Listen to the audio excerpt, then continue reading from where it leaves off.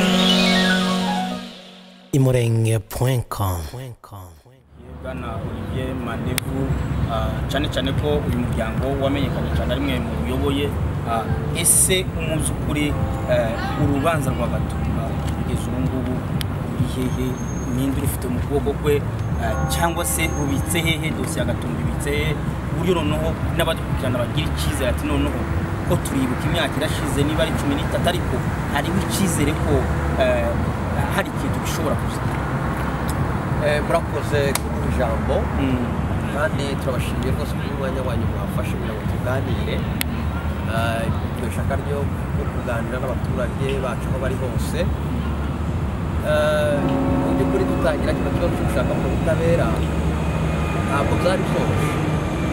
Ibuka twatangiriye ku rupapuro bene ruguru umuntu atira umwana ikayi ugashanyura ukandika ukabika mu mufuka.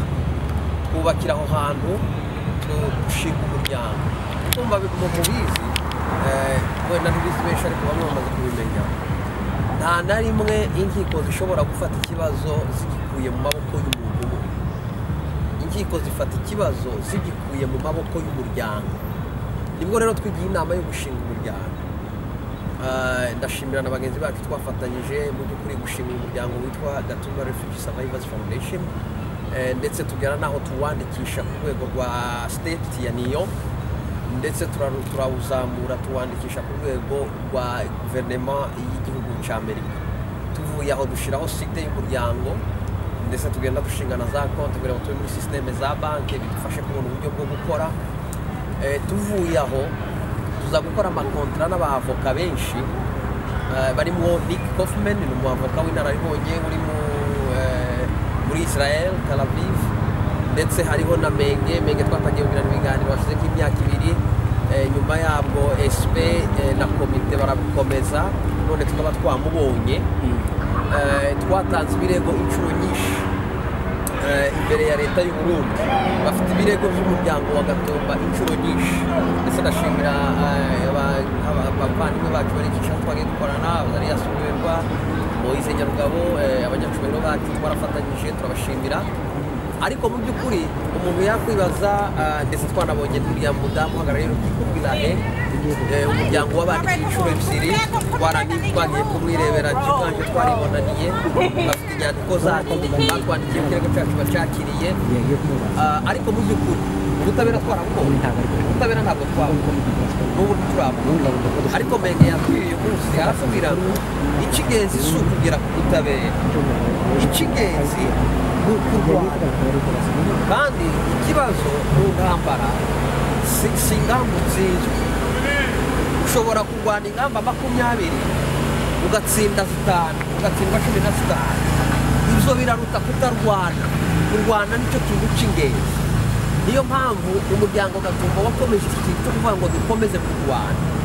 Ikindi kandi iyo uganiriye na bamwe mu bategetsi muri loni no muri leta ya amerika bo barakubwira ngo ibyabaye byose nubwo byaba byaramanurije ariko iyo bitambitse. Ubundi babifata nk'ibyabaye uyu munsi rero twahawe indi defi yo kuvuga ngo ibyatubayeho tubishyire mu nyandiko kuko ababitwandikiye babitwandikiye nabi.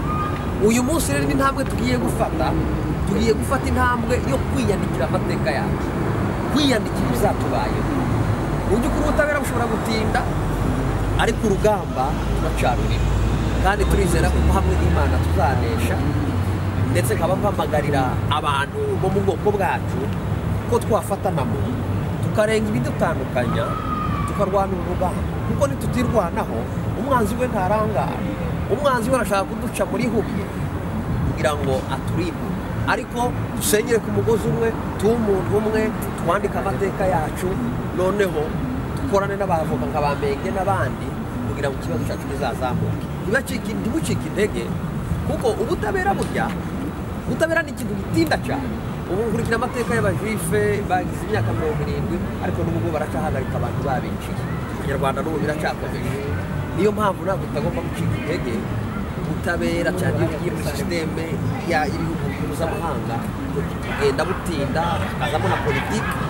Ariko mu by'ukuri kwivuganira byo bigomba gukomeza. Murakoze cyane bwana murakoze namwe imurenge.com imorengue.com